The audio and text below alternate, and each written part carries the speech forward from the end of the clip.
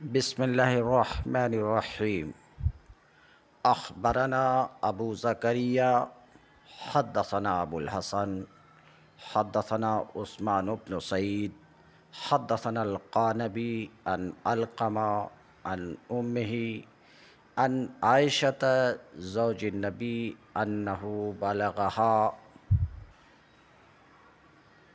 أن أهل البيت كانوا سكانا في دارها عندهم نرد فأرسلت إليهم لئن لم تخرجوها لنخرج جنكم من داري وأنكرت ذلك عليهم. باب العلم انواریہ ایجوکیشنل سوسائٹی، وہ جامعہ انواریہ حیدرآباد، انڈیا کے زیر اہتمام بفضل ہی تعالیٰ الجامع لشعب الایمان للبیحقی کا درس کستوار جاری ہے۔ آج کا درس شروع ہوتا ہے حدیث نمبر چھ ہزار چوراسی سے۔ واضح رہے کہ گفتگو جاری ہے۔ کھیل اور تماشا کی حرمت کے بارے میں۔ تو ما سبق میں جو احادیث گزر چکی ہیں ان احادیث سے یہ بات واضح ہو چکی ہے کہ ہر بے فائدہ کھیل، ہر بے فائدہ اور لایانی کھیل اسلام میں باطل ہے۔ ہاں تین کھیل یقیناً اسلام میں جائز ہے جس کا ذکر ما سبق میں گزر چکا ہے۔ وہ کھیل جو یقیناً حرام ہے، ان کھیلوں میں سے ایک کھیل نرد ہے، جسے نرد شیر بھی، چوسر بھی کہا جاتا ہے۔ تو یہ نرد شیر یا نرد یقیناً حرام ہے، جیسا کہ اس حدیث سے جو اس وقت ہمارے سامنے ہے، حدیث نمبر چھ ہزار چوراسی اس سے بھی یہ بات واضح ہوگی۔ حدیث مروی ہے، علقمہ بن ابو علقمہ سے وہ روایت کرتے ہیں، اپنی والدہ سے وہ روایت کرتے ہیں ام المومنین عائشہ صدیقہ رضی اللہ عنہ سے کہ ایک گھر والے ایسے تھے جو ام المومنین کے مکان میں رہتے تھے۔ گھر میں ان کے پاس نرد یعنی چوسر تھا، یہ ایک طرح کا کھیل ہے۔ ان کے پاس چوسر تھا، سیدہ عائشہ صدیقہ رضی اللہ عنہ نے ان کے پاس پیغام بھیجا کہ اگر تم لوگ نرد کو گھر میں سے نہیں نکالو گے تو میں تم لوگوں کو اپنے مکان سے نکال دوں گی۔ تو سیدہ نے اس چیز کو، نرد کو برا سمجھا۔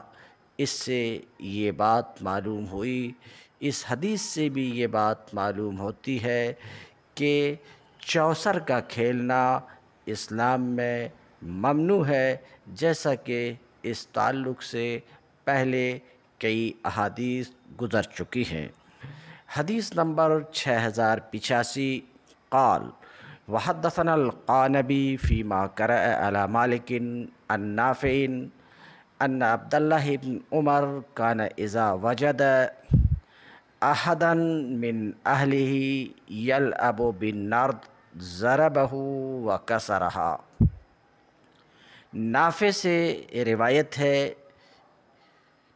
کہ عبداللہ ابن عمر رضی اللہ تعالی عنہ جب اپنے خاندان میں کسی فرد کو نرد یعنی چوسر کے ساتھ کھیلتا ہوا پا لیتے تھے تو اس کو مارتے تھے اور نرد یعنی چوسر کو توڑ دیتے تھے۔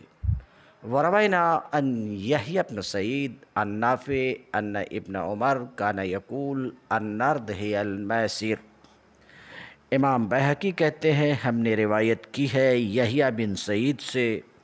انہوں نے نافع سے کہ حضرت ابن عمر رضی اللہ تعالی عنہ فرماتے تھے کہ نرد یعنی چوسر بھی ایک طرح کا جوا ہے۔ حدیث نمبر چھ ہزار چھیاسی۔ اخبرنا علی ابن محمد ابن عبداللہ۔ اخبرنا اسماعیل ابن محمد۔ حدثنا احمد۔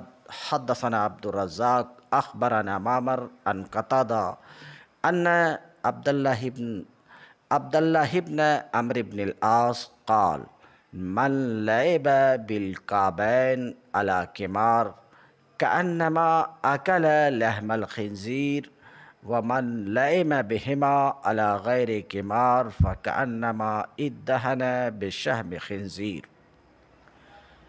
قطادة سي روایت ہے کہ حضرت عبداللہ بن عمر بن عاص رضی اللہ تعالی عنہ نے فرمایا، جو شخص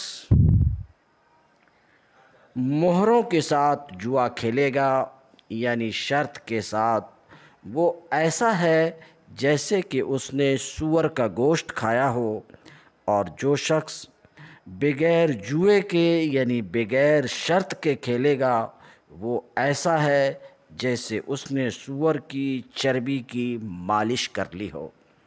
وروینا من حدیث سلام ان قطادہ ان ایوب ان عبداللہ کذالک موصولا و موصوفا۔ حدیث نمبر چھ ہزار ستاسی۔ اخبرنا ابو الحسین ابو الحسین ابن بشران۔ اخبرنا الحسین ابن صفوان۔ حدثنا ابن ابی الدنیا۔ حدثنا عبید اللہ ابن عمر۔ حدثنا جعفر ابن سلیمان، حدثنا المعلى عن حنزلہ قال، جعفر احسبه عن رجل من الانصار قال، من لعب بالنرد فکأنما الى آخرہ حنزلہ صدوسی سے روایت ہے، وہ کہتے ہیں کہ جعفر نے کہا، میرا خیال ہے کہ انصار کے ایک آدمی سے کہ اس نے کہا، جو شخص نرد یعنی چوسر کھیلے گا، گویا کہ اس نے سور کی چربی مل لی اور جو شخص اس کے ساتھ جوا کھیلے گا، گویا کہ اس نے سور کا گوشت کھا لیا۔ فکأنما اکل لحم خنزیر۔ حدیث نمبر چھ ہزار اٹھاسی۔ اخبرنا ابن بشران۔ أخبرنا الحسين بن صفوان حدثنا ابن أبي الدنيا حدثنا يوسف بن موسى حدثنا أبو سلمى حدثنا ربيعة بن كلثوم حدثني أبي قال خطبنا ابن الزبير فقال يا أهل مكة بلغني أن رجال يلعبون يلعبون بلعبة يقال لها نرد شیر و ان اللہ تعالی یقول فی کتابہ، یا ایوہ الذین آمنوا انما الخمر والمیسر الى قوله منتہون و انی احلف و بلّہ آخر ہی ربیہ بن کلثوم حدیث بیان کرتے ہیں۔ وہ کہتے ہیں کہ مجھ سے میرے والد نے حدیث بیان کی۔ انہوں نے کہا کہ ہمیں خطبہ دیا ابن زبیر رضی اللہ تعالی عنہ نے اور کہا، اے اہل مکہ، مجھے خبر پہنچی ہے کچھ لوگوں کے بارے میں۔ مجھے خبر پہنچی ہے کچھ لوگوں کے بارے میں کھیلنے کی چیز کے ساتھ، جس کو نرد شیر، نرد تیر چوسر کہتے ہیں۔ بے شک اللہ تعالیٰ اپنی کتاب میں فرماتا ہے انما الخمر والمیسر، بے شک شراب اور جوا اور بت اور قسمت کے تیر سب گندے، ناپاک، شیطانی کام ہیں۔ ان سے بچو تاکہ تم کامیاب ہو جاؤ، نجات پاؤ۔ شیطان چاہتا ہے کہ تمہارے درمیان دشمنی اور بوکس ڈال دے۔ شراب اور جوئے کی وجہ سے، اور روک دے تم کو اللہ کی یاد سے اور نماز سے۔ کیا تم بعض آنے والے ہو؟ ابن زبیر نے کہا کہ بے شک میں اللہ کی قسم کھا کر کہتا ہوں کہ جو شخص کسی ایسے شخص کو پکڑ کر میرے پاس لائے گا، جو چوسر کے ساتھ جوا کھیل رہا تھا، میں اس کو سخت سزا دوں گا اور اس کا مال چھین کر اسی لانے والے کو دے دوں گا جو اس کو میرے پاس لائے گا۔ وروینہ فی التشدید فی ہے ان عثمان ابن عفان قال، ولقد حممت ان آمر بحزم الحطب، ثم ارسلوا الى بیوت الذین هم فی بیوتہم فأہرکها علیہم امام بحقی کہتے ہیں کہ ہم نے نرد کے ساتھ جوا کھیلنے کے بارے میں سختی کرنے کی بابت حضرت عثمان بن عفان سے روایت کی ہے۔ انہوں نے فرمایا تھا، یقیناً میں نے ارادہ کیا ہے کہ میں لکڑیوں کی گٹھری تیار کرنے کی بابت حکم دوں۔ اس کے بعد اس کے کہ جن کے گھروں میں یہ کھیل ہوتا ہے، ان کو جلا دوں۔ علاوہ ازیں کئی دیگر اسناد ایسی ہیں جن کو یہاں ذکر نہیں کیا، مگر وہ کتاب السنن کی کتاب الشہادات میں مذکور ہیں۔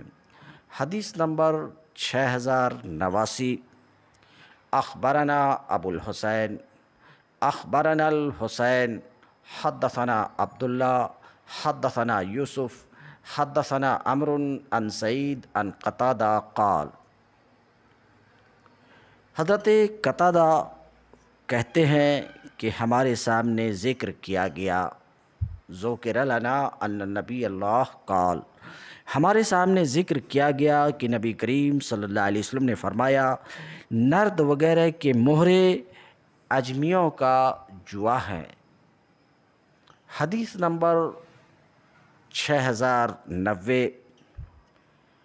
قال، وحدثنا یوسف، حدثنا وقی، حدثنا الفضل عن الحسن۔ قال النرد میسر الاجم۔ حضرت حسن کہتے ہیں کہ مہر اجمیوں کا جوا ہے۔ حدیث نمبر چھ ہزار اکانوے۔ اخبرنا ابو زکری ابن ابی اسحاق حدثنا ابو العباس الاسم حدثنا بحر ابن نصر حدثنا ابن وحب اخبرنی ابن لہیہ عن عبید اللہ ابن ابی جعفر ان بکیرن حدثه عن رجل حدثه عن ابی حریرہ انہو کان یقول کلو لوبہ ضرب فیہا بالکیاب کمارن حضرت ابو حریرہ رضی اللہ تعالی عنہ کہا کرتے تھے کہ وہ ہر کھیل کھلونا یا کھیلنے کی چیز جس کے مہروں کے ساتھ جوا کھیلا جائے، وہ کھیلنا درست نہیں ہے۔ حدیث نمبر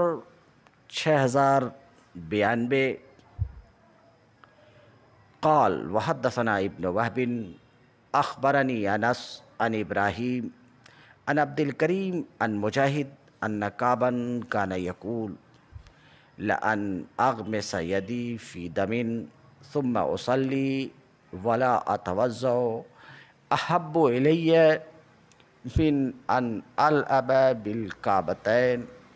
ثم اصلي ولا اتوضا حضرت کعب رضی اللہ تعالی عنہ کہا کرتے تھے کہ میں اگر خون میں ہاتھ آلودہ کر لوں اور اس کے بعد میں وضو نہ کروں اور اسی طرح خون آلود ہاتھوں کے ساتھ نماز پڑھ لوں تو یہ مجھے زیادہ پسند ہے۔ اس سے کہ میں جوئے کے مہروں کے ساتھ کھیلوں، پھر میں نماز بھی پڑھوں اور وضو بھی کروں۔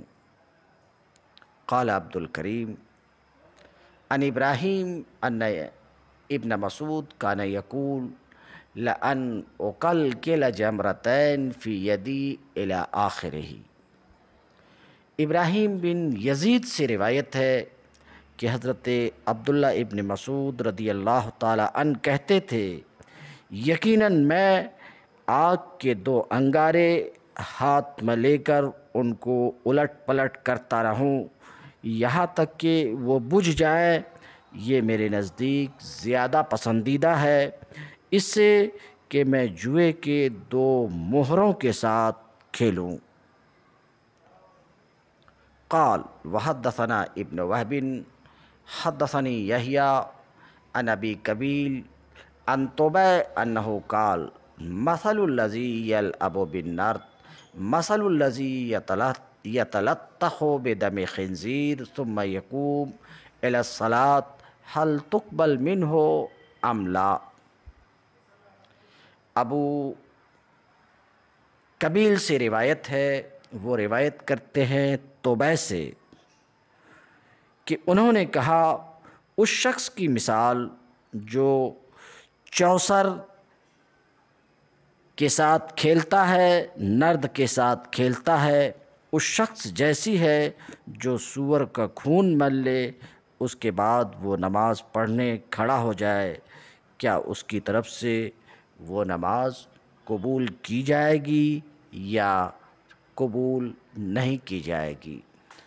حدیث نمبر چھ ہزار پچانوے، اخبرنا ابو الحسین ابن بشران، اخبرنا الحسین ابن صفوان، حدثنا ابن ابی الدنیا، حدثنا بشر ابن معاذ معاذ، حدثنا عامر ان یحییٰ قال، مر رسول اللہ صلی اللہ علیہ وسلم، بقوم يلعبون النرد، فقال قلوب لاہیا و عیدی عاملہ و السنۃ لاغیا۔ یحییٰ بن ابو کثیر سے روایت ہے، وہ کہتے ہیں، حضور صلی اللہ علیہ وسلم ایک قوم کے پاس سے گزرے جو نرد کے ساتھ یعنی چوسر کھیل رہے تھے۔ آپ صلی اللہ علیہ وسلم نے فرمایا، ان کے دل غفلت میں کھیل رہے ہیں۔ ہاتھ ہاتھ بیہودہ کام میں مشغول ہیں اور زبانیں بیہودہ بک رہی ہیں۔ حدیث نمبر چھ ہزار چھیانوے۔ قال، وحدثنا ابن ابی الدنیا، حدثنا یوسف، حدثنا جریر عن الفضیل ابن غزوان۔ قال، مر مسروق بقوم يلعبون بالنرد فقالوا يا أبا عائشة انما ربما فرغنا فلعبنا بها، قال، ما بهذا من الفراغ؟ فضیل بن غزوان سے روایت ہے، وہ کہتے ہیں کہ مسروب ایک ایسی قوم کے پاس سے گزرے جو نرد کے ساتھ کھیل رہے تھے، بولے، اے ابو عائشہ، بے شک ہم بسا اوقات جب فارغ ہوتے ہیں، جب خالی ہوتے ہیں تو فلعب نہ بہا تو یہ نرد کھیلتے ہیں، چوسر کھیلتے ہیں۔ قال، ما بحاظہ من الفراغ۔ تو انہوں نے کہا کہ اس سے فراغ نہیں ہے۔ حدیث نمبر چھ ہزار ستانوے۔ أخبرنا أبو الحسين بن بشران أخبرنا الحسين بن صفوان حدثنا ابن أبي الدنيا حدثنا علي بن الجاد حدثنا أبو معاوية عن سعد بن طريف طريف عن الأصبغ عن علي أنه مر على قوم يلعبون بالشطرنج فقال ما هذه التماثيل التي انتم لها عاکفون۔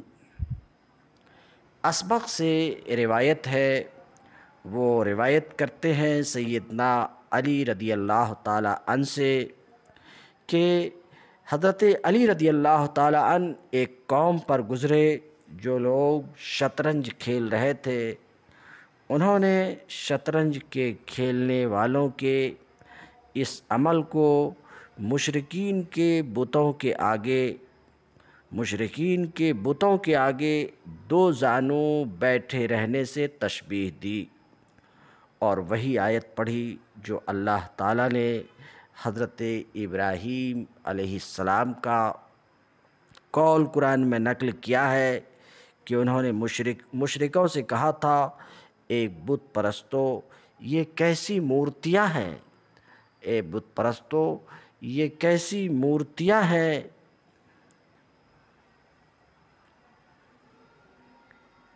تم جن کے آگے بیٹھے ہو، فرمایا ماحاظ تماثل التی ان تم لہا آکفون، یہ کیسی مورتیاں ہیں؟ تم جن کے آگے جم کر بیٹھے ہو، اگر کوئی شخص ہاتھ میں آگ کا دہکتا ہوا انگارہ رکھ لے یہاں تک کہ وہ وہ بجھ جائے۔ یہ بہتر ہے اس کے لیے۔ ان شطرنج کے مہروں کو ہاتھ لگانے سے۔ کالا شیخ و لہٰذا شواہد و انالی ذکرنا فی کتاب الشہادات۔ شیخ نے فرمایا کہ حضرت علی رضی اللہ تعالی عنہ کی اس روایت کے دوسرے شواہد بھی ہیں۔ ہم نے ان کو کتاب الشہادات میں ذکر کیا ہے۔ وروینا ان جعفر بن محمد ان ابی ان علی انہو کان یقول، الشطرنج ہوا میسر العاجم۔ امام بیحقی کہتے ہیں کہ ہم نے روایت کی ہے جعفر بن محمد سے، انہوں نے اپنے والد سے، انہوں نے حضرت علی سے کہ حضرت علی رضی اللہ تعالی عنہ کہتے تھے کہ شطرنج اجمیوں کا جوا ہے۔ وروینا ان ابن عمر انہو سوئل ان الشطرنج فقال، ہی شر من النار. ہم نے روایت کیا ہے ابن عمر رضی اللہ تعالی عنہ سے کہ ان سے شطرنج کے بارے میں پوچھا گیا تھا تو انہوں نے فرمایا، یہ نرد سے بھی بدتر ہے. وروینا ان ابن شہاب ان ابا موسیٰ الاشعری قال لا یلعب بالشطرنج الا خاتی امام بیحقی کہتے ہیں کہ ہم نے روایت کیا ہے ابن شہاب سے کہ حضرت ابو موسیٰ اشعری نے فرمایا کہ شطرنج کے ساتھ گنہگار ہی کھیلتا ہے۔ اور عبید اللہ بن ابو جعفر نے فرمایا کہ حضرت ابو سعید خدری رضی اللہ تعالیٰ عنہ ناپسند کرتے تھے شطرنج کھیلنے کو۔ ناپسند کرتے تھے شطرنج کھیلنے کو اور ابن شہاب سے ہی مروی ہے کہ ان سے شطرنج کے بارے میں، ان سے شطرنج کے بارے میں پوچھا گیا تو انہوں نے فرمایا کہ شطرنج کھیلنا باطل ہے اور اللہ تعالیٰ باطل کو پسند نہیں کرتا ہے۔ وروینہ مثل ذالک انب المسیب۔ اور ہم نے اسی کی مثل ابن مسیب سے روایت کی ہے وروینہ ان مالک انہو قال، الشطرنج من النرد، بلغنا عن ابن عباس انہو واللہ مال یتیم فأہرکہا اور ہمیں خبر پہنچی ہے، ہم نے مالک سے روایت کی کہ انہوں نے فرمایا، شطرنج نرد میں سے ہے۔ ہمیں خبر پہنچی ہے کہ حضرت ابن عباس رضی اللہ عنہ سے مروی ہے کہ وہ یتیم کے مال کے متولی بنے تھے، جس میں شطرنج بھی تھا، انہوں نے اس شطرنج کو جلا دیا۔ حدیث نمبر چھ ہزار اٹھانوے، سکس زیرو نائن ایٹ۔ و اخبرنا ابو الحسین ابن بشران۔ اخبرنا الحسین ابن صفوان۔ حدثنا عبداللہ ابن ابی الدنیا، حدثنا علی ابن الجاد اخبرنا معاویہ ان عبید اللہ ابن عمر قال، قیل للقاسم حاضح النرد تکرہونها فما بال الشطرنج؟ قال، کل ما الحا ان ذکر اللہ و ان الصلاة فهو من المیسر. حضرت معاویہ خبر دیتے ہیں عبید اللہ بن عمر سے وہ کہتے ہیں، وہ کہتے ہیں کہ قاسم سے کہا گیا، یہ نرد جو ہے، اس کو آپ لوگ مکروح جائز کہتے ہیں۔ شطرنج کے بارے میں کیا خیال ہے؟ فما بال الشطرنج، شطرنج کے بارے میں کیا خیال ہے؟ انہوں نے جواب دیا، ہر وہ چیز جو اللہ کی یاد سے غافل کر دے اور نماز سے بس وہی جوا ہے۔ حدیث نمبر چھ ہزار ننانوے۔ قال و اخبرنا ابو معاویہ ان اقبا قال، قلت ابراہیم ما تقول فی اللیب بالشطرنج؟ فإنی احب اللیب بها۔ قال، فإنها ملعونة فلا تلعب بها۔ قال، قلت انی لا اصبر عنها۔ قال فحلف لا تلعب بها سنة قال فحلفت فصبرت عنها اقبا بن ابو صالح سے روایت ہے، وہ کہتے ہیں کہ میں نے ابراہیم سے پوچھا، میں ابراہیم سے پوچھا، آپ کیا کہتے ہیں شطرنج کھیلنے کے بارے میں؟ میں شطرنج کھیلنا پسند کرتا ہوں۔ انہوں نے فرمایا کہ یہ کھیل ملعون ہے، اسے مت کھیلو۔ کہتے ہیں، میں نے کہا کہ میں اس کے بغیر صبر نہیں کر سکتا۔ انہوں نے فرمایا کہ تم قسم کھا لو کہ ایک سال تک اس کو نہیں کھیلو گے۔ کہتے ہیں، میں نے قسم کھا لی، لہٰذا مجھے اس سے صبر آ گیا۔ حدیث نمبر چھ ہزار ایک سو سکس ون ڈبل زیرو۔ قال و اخبرنا ابو معاویہ عن الحسن ان طلحہ، قال، کان ابراہیم و اصحابنا لا يسلمون على احد اذا مروا به من اصحاب هذه اللعب۔ طلحہ سے روایت ہے وہ کہتے ہیں کہ ابراہیم اور ہمارے اصحاب کسی ایسے آدمی کو سلام نہیں کرتے تھے جب ایسے آدمی پر گزرتے جو ایسے کھیلوں میں سے کوئی کھیل کھیل رہا ہو، من اصحاب حاضح اللعب۔ حدیث نمبر چھ ہزار ایک سو ایک۔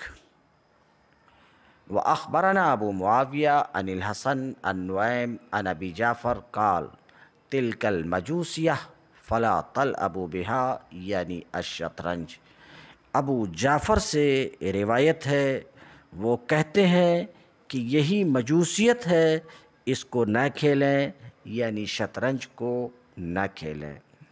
حدیث نمبر چار، ایک سو دو۔ اخبرنا ابو الحسین ابن بشران، اخبرنا الحسین ابن صفوان، حدثنا ابن ابی الدنیا، حدثنا الفضل بن الصباح حدثنا ابو عبیدہ، ان بسام السیرفی قال، سألت ابا جعفر عن الشطرنج، فقال دعل مجوسیہ بسام سیرفی سے روایت ہے، وہ کہتے ہیں کہ میں نے ابو جعفر سے شطرنج کے بارے میں پوچھا تو انہوں نے فرمایا، چھوڑ دو مجوسیت کو یعنی شطرنج کھیلنا ایک طرح کی مجوسیت ہے۔ حدیث نمبر چھ ہزار ایک سو تین۔ اخبرنا ابن بشران۔ اخبرنا الحسین ابن صفوان۔ حدثنا ابن ابی الدنیا۔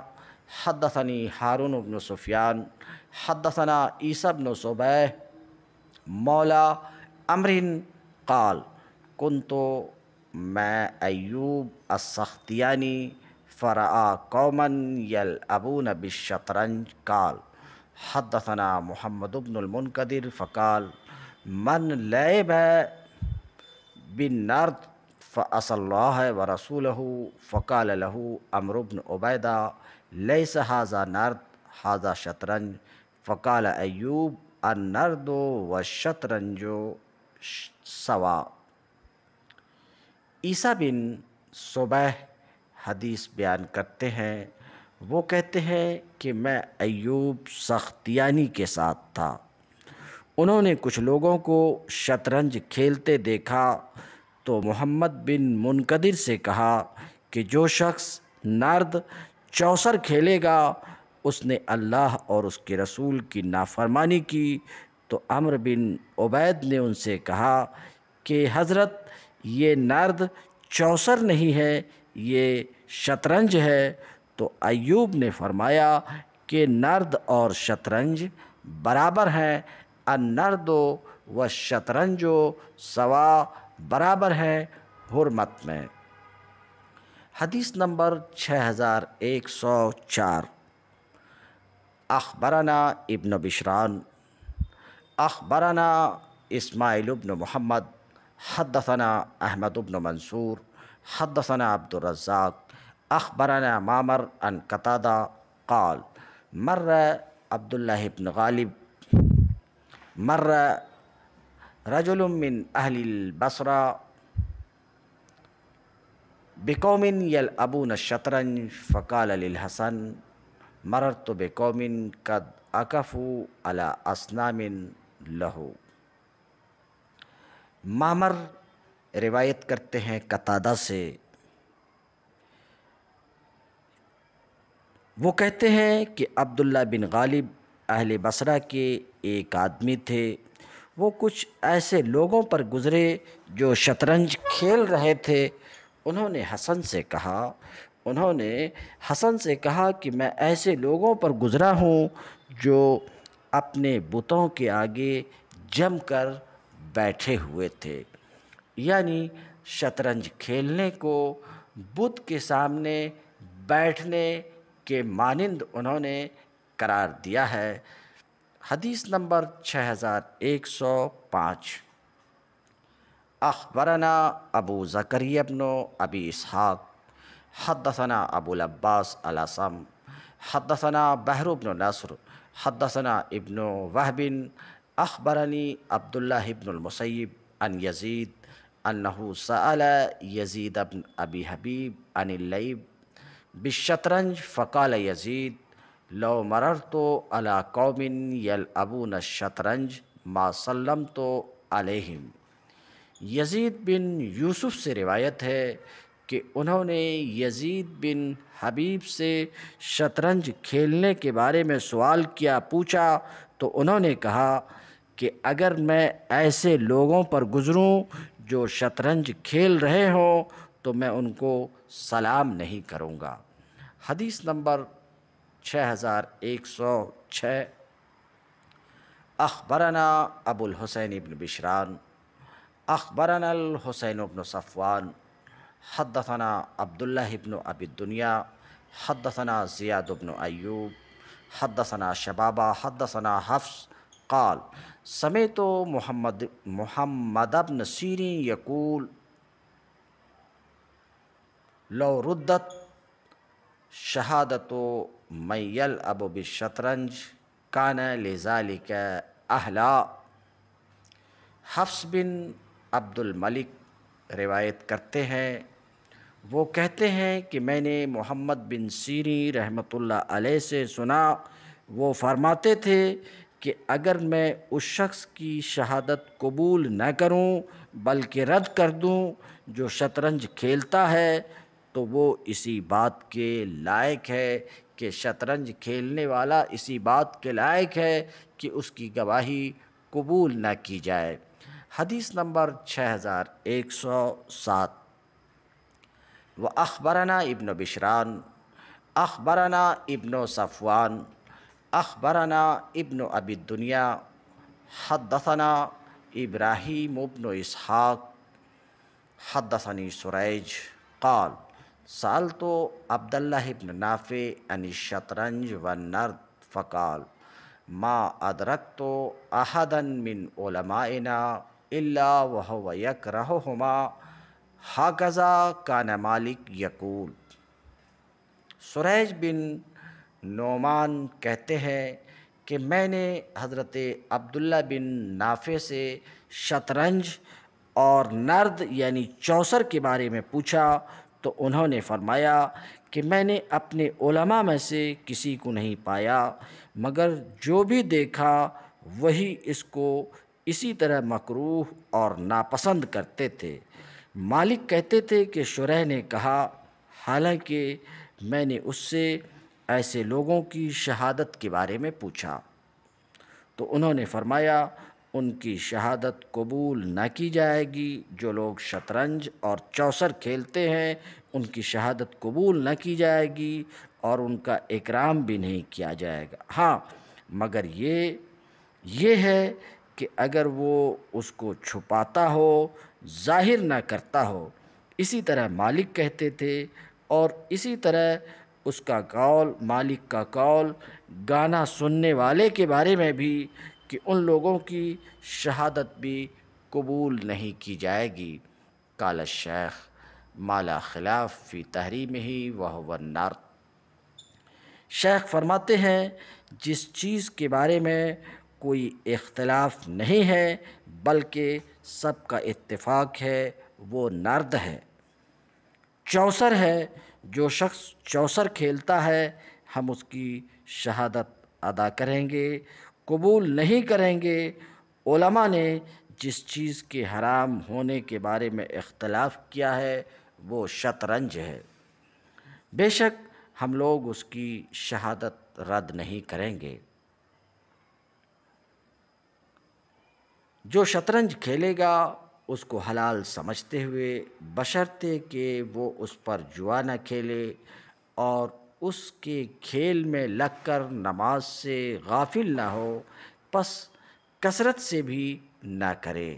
بہرحال، باقی رہی اس کے مکرو ہونے کی بات تو امام شافی رحمۃ اللہ علیہ نے اس کھیل کے مکرو ہونے پر وضاحت اور تصریح فرمائی ہے۔ حدیث نمبر چھ ہزار ایک سو آٹھ۔ اخبرنا أبو بكر أحمد بن الحسن. حدثنا أبو العباس الأصم حدثنا إسحاق السجاني.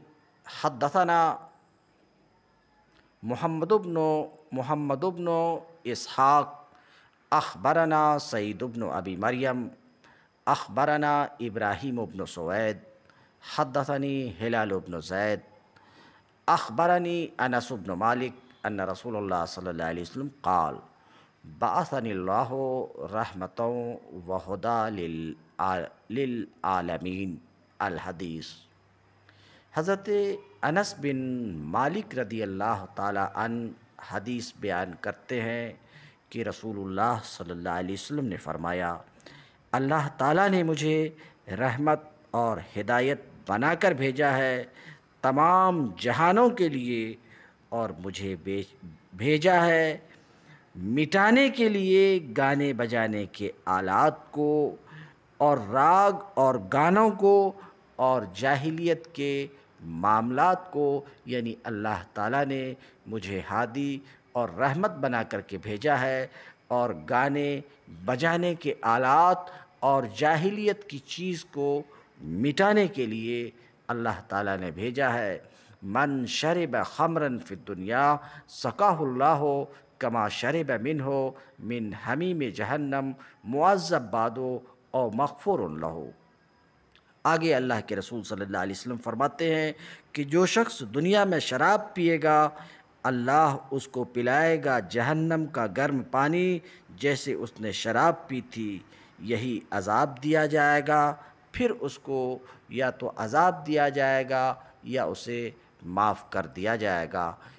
شیخ رضی اللہ عنہ، قد ذکرنا شواہدہ فی غیر حاضل موضع وہ بے شواہد ہی یا خز و قوا واللہ عالم و قد ذکرنا فی کتابی سنن اخباراً فی سائر انواع الى آخر ہی شیخ فرماتے ہیں کہ ہم نے اس کے شواہد ذکر کر دیے ہیں اس مقام کے علاوہ اور وہ اپنے شواہد کے ساتھ قوت پکڑتی ہے۔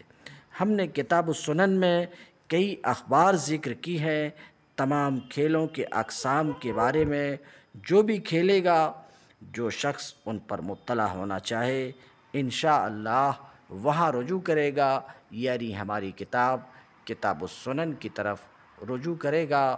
جو دیگر کھیلوں کی تفاصیل کو جاننا چاہتا ہے۔ حدیث نمبر چھ ہزار ایک سو نو۔ ان مجاہد قال، مر ابن عمر علا قومن یل ابون بشہاردہ فہرکہا بن نار حضرت مجاہد سے روایت ہے، وہ کہتے ہیں کہ حضرت ابن عمر رضی اللہ تعالیٰ عنہ کچھ ایسے لوگوں کے پاس سے گزرے جو چہاردہ کے ساتھ کھیل رہے تھے۔ اس کھیل کا نام چہاردہ ہے، اس وجہ سے کہ اس میں چودہ گوٹیاں ہوتی تھی حضرت ابن عمر رضی اللہ تعالیٰ عنہ کچھ ایسے لوگوں کے پاس سے گزرے جو چہاردہ کے ساتھ کھیل رہے تھے، تو انہوں نے اسے آگ لگا کر جلا دیا۔ حدیث نمبر چھ ہزار ایک سو دس۔ و اخبرنا ابو محمد اخبرنا ابو سعید حدثنا سادان حدثنا اسحاق ان سفیان الثوری ان عبداللہ ابن عمر ان نافع ان ابن عمر انہو کان یکسر الاربعت اشر اللتی الاب نافع روایت کرتے ہیں ابن عمر رضی اللہ تعالی عنہ سے۔ کہ وہ چودہ مہروں یعنی چودہ گوٹی والوں، چودہ گوٹیوں کو توڑ دیتے تھے وہ چودہ مہرے جن کے ساتھ کھیلا جاتا ہے۔ یہ ایک طرح کا کھیل ہے جس میں چودہ گوٹیاں ہوا کرتی ہیں۔ تو ابن عمر رضی اللہ تعالی عنہ وہ چودہ گوٹیاں جن کے ساتھ کھیلا جاتا تھا، اسے جب دیکھتے تو اس کو توڑ دیتے تھے اور ہم نے اس کو بھی روایت کیا نافع سے۔ ہم نے اس کو بھی روایت کیا نافع سے، وہ صفیہ سے، وہ ابن عمر رضی اللہ تعالی عنہ سے۔ کہا کہ اپنے گھرانے کے کچھ افراد پر گئے تو وہ اس کے ساتھ کھیل رہے تھے۔ حضرت ابن عمر رضی اللہ تعالی عنہ نے اسے توڑ دیا۔ وروینہ ان سلمہ اور ہم نے روایت کی ہے سلمہ بن اقوا سے کہ انہوں نے اس کھیل سے منع فرمایا تھا۔ حدیث نمبر چھ ہزار ایک سو گیارہ ان ام سلمت قالت، لأن تسترم نار فی بیت احدکم خیر له من ان تکون فی بیته الاربعات و اربعات اشار ام سلمہ کہتی ہیں کہ اگر شعلے مارے آگ تم میں سے کسی ایک کے گھر میں یعنی تمہارے گھر کو آگ لگ جائے، تم میں سے کسی کے گھر کو آگ لگ جائے تو یہ اس کے حق میں بہتر ہے۔ اس بات سے کہ اس کے گھر میں ہوں، یہ چودہ مہرے۔ و امل مراجی فقد روینہ ان عائشت انہا کانت علا ارجوحت و معها صواحبها فی الوقت التی سرخت بها امها لتزفها الى النبی وذالک فی اول ما حاجر النبی صلی اللہ علیہ وسلم الى المدینہ بہرحال، جہاں تک جھولوں کی بات ہے، تو امام بحقی کہتے ہم نے اس سلسلے میں سیدہ عائشہ رضی اللہ عنہ سے روایت کی ہے کہ وہ جھولے پر بیٹھی تھیں اور ان کی سہیلیاں ان کے ساتھ تھیں۔ اس وقت جب ان کی والدہ نے نبی کریم صلی اللہ علیہ وسلم کے ساتھ ان کو رخصت کرنے کا اعلان کیا تھا یا آواز لگائی تھی، یہ اس وقت کے شروع کی بات ہے جب مدینہ کی طرف نبی کریم صلی اللہ علیہ وسلم نے ہجرت کی تھی، اس کے بعد نبی کریم صلی اللہ علیہ وسلم سے ہم نے روایت کی ہے، مرسل حدیث میں حضور صلی اللہ علیہ وسلم نے جھولوں کو توڑ دینے کا حکم دیا تھا۔ ثم روینا عن النبی فی حدیث مرسل انہو امر بقت المراجی حدیث نمبر چھ ہزار ایک سو بارہ۔ اخبرنا ابو الحسین ابن بشران، حدثنا الحسین ابن صفوان، حدثنا ابن ابی الدنیا حدثني الفضل ابن اسحاق، حدثنا ابو قتیبہ حدثنا الحسن، عن امه قالت رأيت ابا برزا اذا رأى احدا من اهله وولده يلعب على المراجيح ضربهم وكسرها حسن بن حکیم روایت کرتے ہیں، اپنی والدہ سے وہ کہتی ہیں کہ میں نے ابو برزہ کو دیکھا کہ جب وہ اپنے خاندان کے کسی فرد کو یا کسی بچے کو جھولوں پر کھیلتا دیکھتے تو ان کو مارتے تھے اور جھولے کو توڑ دیتے تھے۔ حدیث نمبر چھ ہزار ایک سو تیرہ۔ وحدثنا ابن ابی الدنیا، حدثنا محمد ابن عثمان، حدثنا ابن نمیر، عن مالک۔ قال، انی لاکرہ المراجیح یوم النیروز و شعبتا من المجوسیہ ورا انسانا علی ارجوحت مالک بن میگول سے روایت ہے، وہ کہتے ہیں کہ میں عید یعنی نیروز والے دن جھولوں کو مکروح اور ناپسند جانتا ہوں۔ اور میں اس عمل کو مجوسیت کا ایک شعبہ سمجھتا ہوں۔ انہوں نے ایک آدمی کو جھولے پر دیکھا تھا، اس وقت انہوں نے ایسا کہا، وَذَكَرْنَا فِي كَرَاهِيَةِ اللَّيْبِ بِالْحَمَامِ حدیث ابا حریرہ حدیث ابی حریرت ان رسول اللہ صلی اللہ علیہ وسلم رآ رجلا یتبع حماما فقال، شیطان یتبع شیطانتا اور ہم نے کبوتروں کے ساتھ یعنی کبوتر بازی کرنے کی کراہت، وہ ناپسندیدہ ہونے کے بارے میں ابو حریرہ رضی اللہ تعالیٰ عنہ کی حدیث ذکر کی ہے کہ بے شک رسول اللہ صلی اللہ علیہ وسلم نے ایک آدمی کو دیکھا جو کبوتری کے پیچھے پیچھے پھر رہا تھا تو حضور صلی اللہ علیہ وسلم نے فرمایا، یہ شیطان ہے جو شیطان کے پیچھے پھر رہا ہے۔ حدیث نمبر چھ ہزار ایک سو چودہ۔ اخبرنا علی ابن احمد۔ اخبرنا احمد ابن عبید۔ حدثنا عثمان بن عمر۔ حدثنا ابو الولید۔ حدثنا حماد بن سلمہ۔ عن محمد۔ عن محمد ابن عمر عن ابی سلمہ۔ عن ابی حریرت قال، را رسول اللہ صلی اللہ علیہ وسلم، فذکرہ اس حدیث کا مفہوم بھی بے ہی وہی ہے جو اس سے پہلے والی حدیث کا ہے۔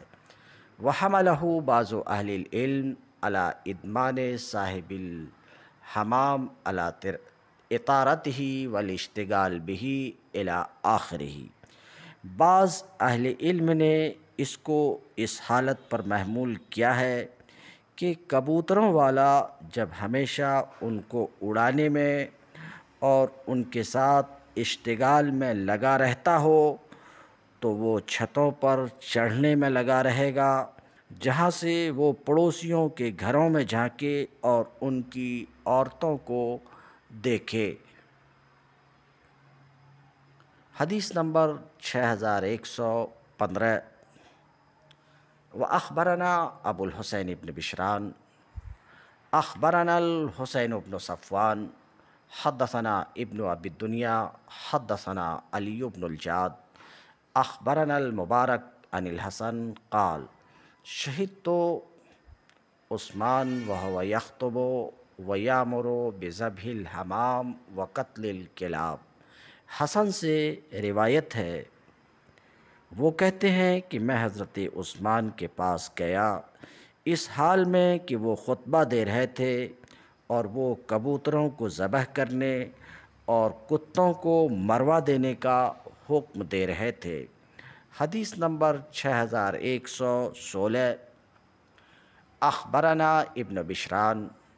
اخبرنا ابن صفوان۔ حدثنا ابن ابی الدنیا۔ حدثنا خلف ابن حشام۔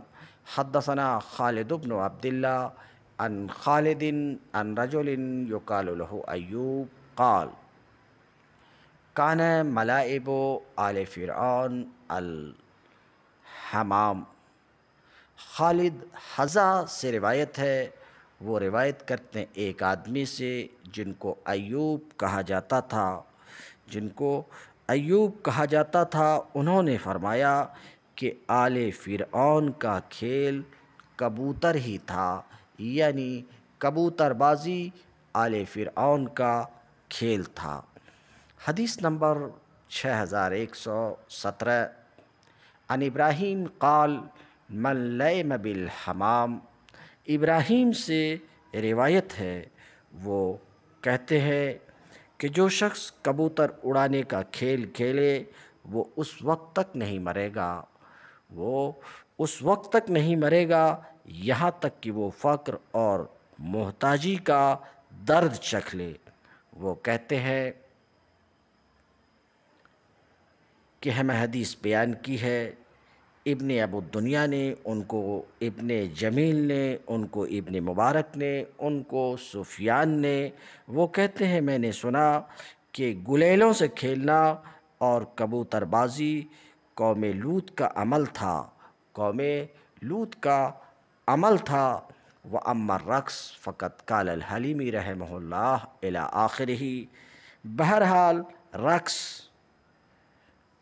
کرنا اور ناچنا تو شیخ حلیمی فرماتے ہیں کہ وہ رقص جس میں دوہرا ہونا اور سکیڑنا ہو یعنی اعضا کو موڑنا اور سکیڑنا وغیرہ جیسے ناچ گانے میں ہوتا ہے، اور ایسی حرکات جو مردوں کے اخلاق و عادات کے منافی اور مخالف ہوں، وہ مردوں کے لیے حرام ہے۔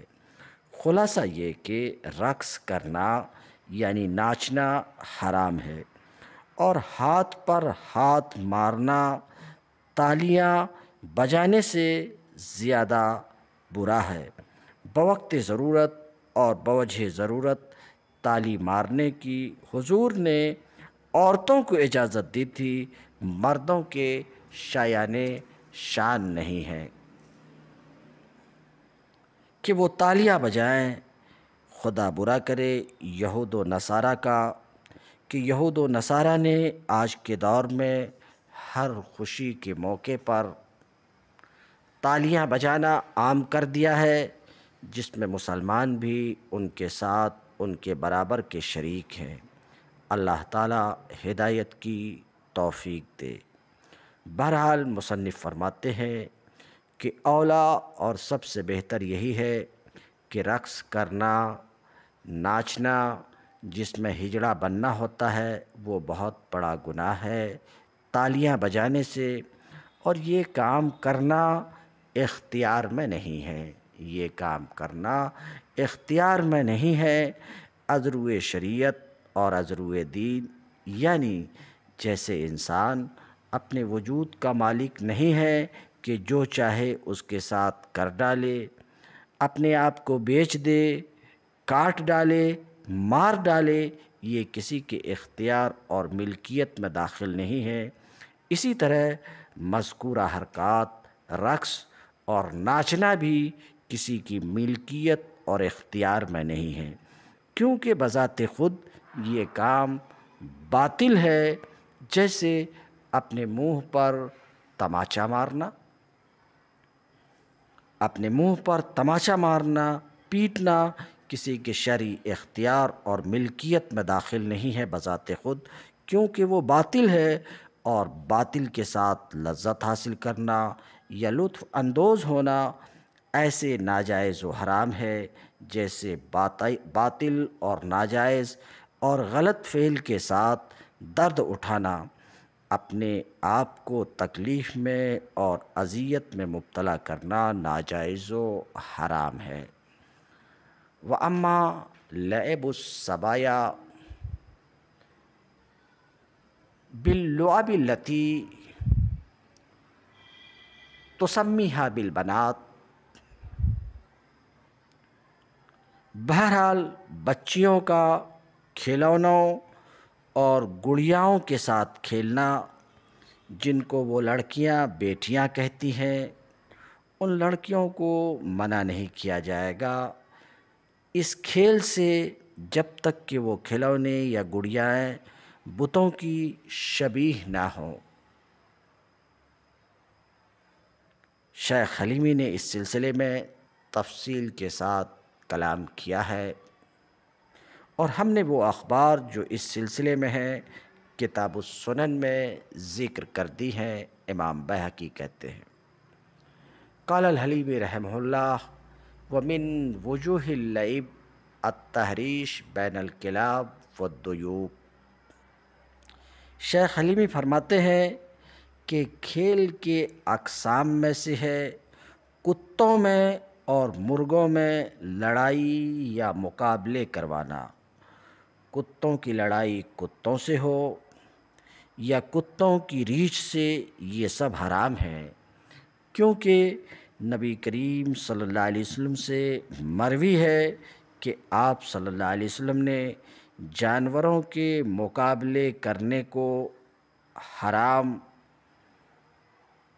کہا ہے، ممنوع کہا ہے، کسی کو اس کی اجازت نہیں دی جائے گی۔ اس لیے کہ باہم لڑائی کرنے والوں میں سے ہر ایک دوسرے کو زخمی کر کے درد و علم سے دو چار کرتا ہے اور اس کا وبال اور گناہ لڑانے والوں کو ملتا ہے۔ حدیث نمبر چھ ہزار ایک سو انیس۔ اخبرنا ابو علی الروزباری اخبرنا ابو بکر بن داسا، حدثنا ابو داود، حدثنا محمد بن العلاء تحویل سند.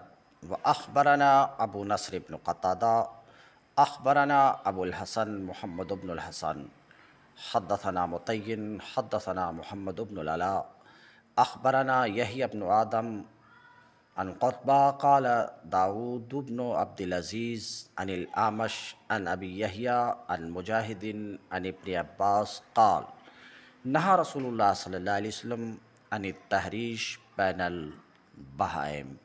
حضرت ابن عباس رضی اللہ تعالی عنہ سے روایت ہے، انہوں نے کہا کہ رسول اللہ صلی اللہ علیہ وسلم نے جانوروں، چوپایا، چوپایوں کے درمیان لڑائی کروانے سے منع فرمایا ہے، تو جانوروں کے درمیان مقابلہ کرانا، لڑائی کرنا اس حدیث کی روشنی میں حرام ہے۔ آج بھی دیکھا جاتا ہے کہ کتوں کے درمیان مقابلہ کرایا جاتا ہے۔ آج بھی دیکھا جاتا ہے کہ بیلوں کے درمیان آپس میں مقابلہ کرایا جاتا ہے۔ اللہ کے رسول صلی اللہ علیہ وسلم نے جانوروں چوپاہیوں کے درمیان لڑائی کروانے سے منع فرمایا تھا۔ ورواہ زیاد بن عبداللہ ان العامش ان المنحال ان مجاہد ان ابن عباس۔ ورواہ منصور ان العامش ان سعید ابن جبیر ان ابن عمر۔ ورواہ اللیس ان مجاہد ان عمر۔ حدیث نمبر چھ ہزار 120 أخبرنا أبو القاسم ببغداد. حدثنا أحمد بن سلمان. حدثنا محمد بن عبدوس. حدثنا أحمد بن إبراهيم. حدثنا معمل. حدثنا سفيان. عن ليث. عن مجاهد. قال ما من میت الا یورز علیہ اہل مجالسته الذي كان يجالس ان كانوا اہل اللہ فاہل اللہ و ان كانوا اہل الذکر فاہل الذکر حضرت مجاہد رحمۃ اللہ علیہ کہتے ہیں کہ کوئی میت ایسا نہیں ہے مگر اس پر اس کے ہم نشیں پیش کیے جاتے ہیں۔ یعنی جو بھی شخص مر جاتا ہے تو مرنے کے بعد اس پر اس کے ہم نشیں پیش کیے جاتے ہیں، جن کے ساتھ وہ اٹھتا بیٹھتا تھا۔ اگر وہ کھیل تماشے والے تھے تو بھی اگر وہ اہل ذکر تھے تو اہل ذکر پیش کیے جاتے ہیں۔ یعنی جن کا ہم نشی جیسا تھا وہ ہم نشی ان پر مرنے کے بعد پیش کیے جاتے ہیں۔ حدیث نمبر چھ ہزار ایک سو اکیس۔ و بإسناده حدثنا احمد بن ابراہیم۔ حدثنا سعید۔ حدثنا عباس بن غالب۔ قال سمعت سمعت الربيع بن برا وكان عابدا بالبصرة يقول ادركت الناس بالشام وقيل لرجل يا فلان قل لا اله الا الله قال اشرب واسقني وقيل لرجل الى آخره ہمیں حدیث بیان کی ہے، احمد بن ابراہیم نے، ان کو سعید نے، ان کو عامر بن غالب نے، وہ کہتے ہیں کہ میں نے سنا ربی سے وہ بصرہ کے عابد تھے۔ کہتے ہیں میں نے لوگوں کو ملک شام میں پا لیا اور ایک آدمی سے کہا گیا، اے فلاں کہو لا الہ الا اللہ. اس نے کہا، تم پیو اور مجھ کو پلاؤ. اور کہا گیا مقام احواز میں، اے فلاں کہو لا الہ الا اللہ.